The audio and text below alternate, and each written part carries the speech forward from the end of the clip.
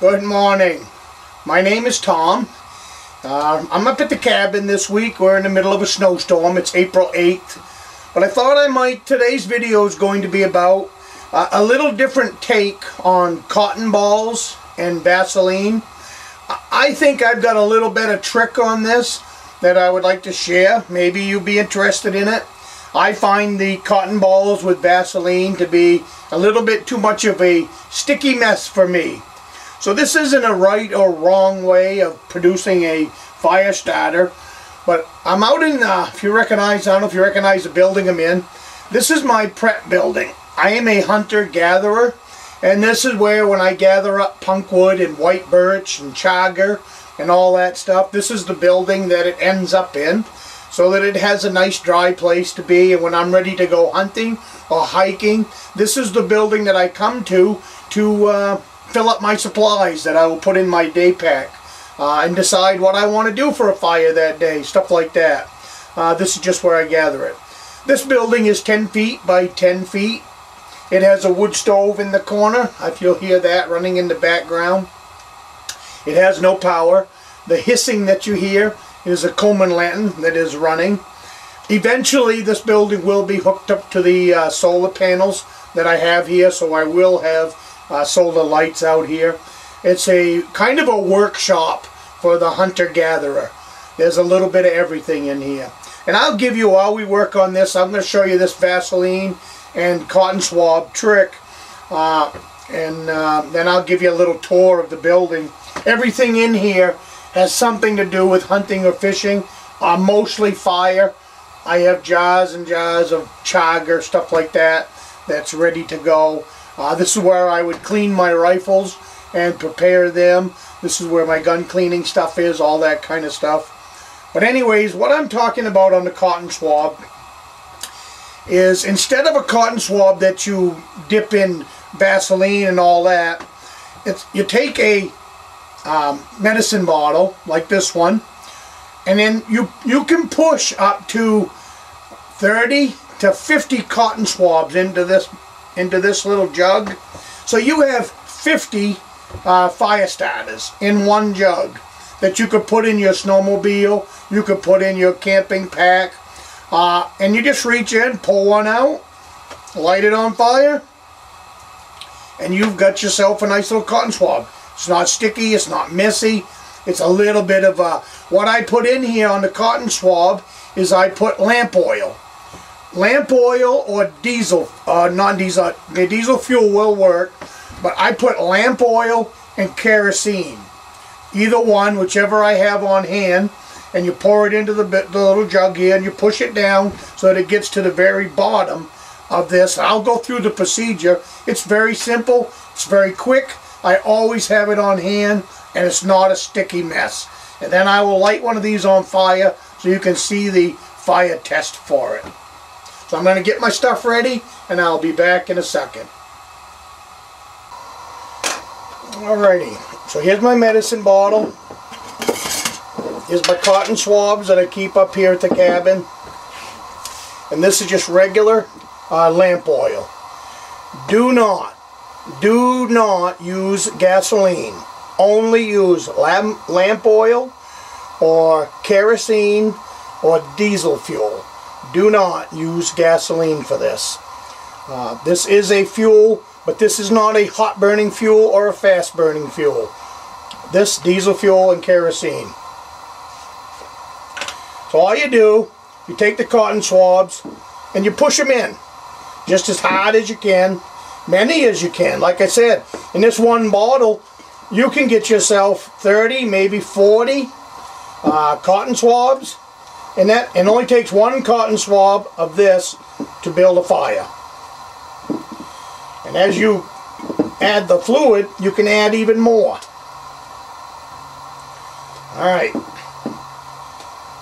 I have no idea how many cotton swabs are in there. But the bottle's full.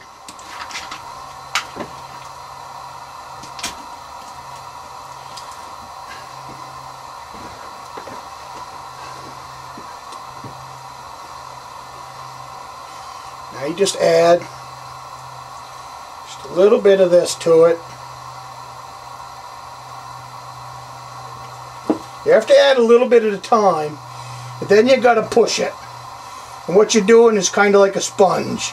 You're squeezing all that fluid down to the bottom. And that way the bottom cotton swabs will also get their fluid. I don't know if you can see, but see right here you can see the fluid line. This is wet, down here is dry. So you keep adding until the bottom is full. Squeeze it and just hold it for a second and then that'll pull it right down in.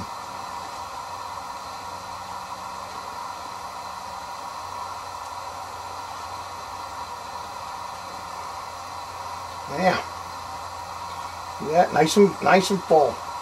And by doing that, now we got more room at the top. So then you put in some more.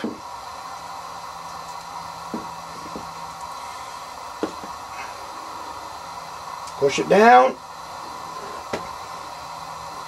And they'll fill up.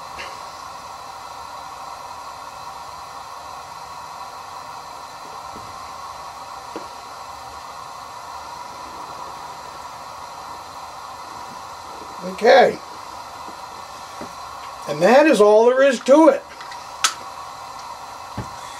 There is probably 50 fire starters in that little ball. In that little, I mean in that little, in that little uh, medicine bottle.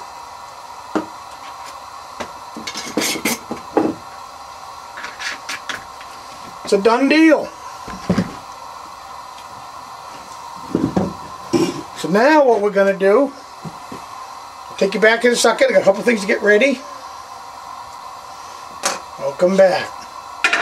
Got a little tin here that I that I burn on. So all I'm going to do is take out one and set it there.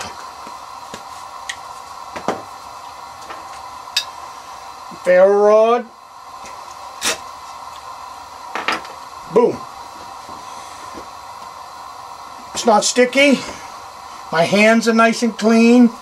They might smell like lamp oil a little bit. But that right there will ride in my snowmobile. Or it will ride, if you want to put it in a four-wheeler, in a boat, whatever. You have 50 fire starters. Uh, that quick, that easy. And that will burn for, I won't hold you here for it, but, but that will burn for uh, five minutes, maybe six minutes, easily and that's a six inch flame. Uh, so I think that's a pretty good fire starter for as simple as that is to make. I used to use uh, the egg cartons with lint and all that and not knocking them. They're all very good fire starters. But I found this one to be the simplest and the easiest uh, for me to make and to have on hand. They work great here at the cabin for getting fires built in the wood stoves and stuff. Throw in one or two of those, throw some kindling on top of that, and I can have a nice fire. As you can see, that's quite a flame. Uh, so that's why I got away from the cotton swabs and Vaseline, and that's also why I got away from the uh, egg cartons and lint. Now I use primarily natural tinders, but as a progression of doing this for 50 years, this is where I came from, this is the stuff that I used uh, faithfully 30 years ago. And I just wanted to share that with you in case you wanted to try a different way of making these fire starters. You really don't need to go to the store and buy a fire starter when you can build something uh, that will throw a flame like that uh, to get your fire going. That's a torch. Under any stretch of the imagination, that's a torch. So that's going to wrap this one up on cotton swabs. And uh, thank you very much for watching my videos. And I will see you on the next one.